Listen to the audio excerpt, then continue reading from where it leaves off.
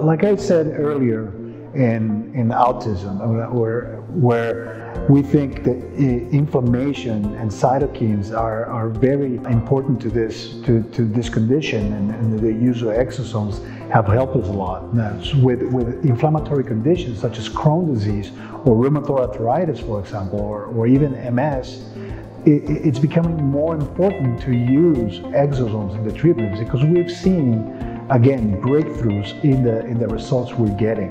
So I, I think by, by using the, the, the, healthy amount of stem cells that we're using in the intervals that we provide, as well as the exosomes, we've been able to improve the outcomes of these patients, specifically speaking with, uh, with autoimmune, highly inflammatory conditions.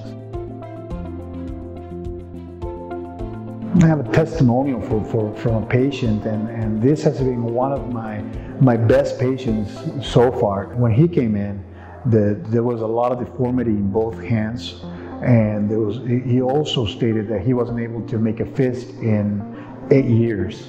We provided the treatment with the, the, the stem cells and also with exosomes. And three weeks after, he sent me pictures where he was making a fist. And for a person that, that's been stiff for so much, much time, this is a great deal of difference, especially with, with these types of conditions like rheumatoid arthritis. I'm seeing a lot of changes now that, that we're uh, stacking the treatment up with the stem cells and the exosomes as well.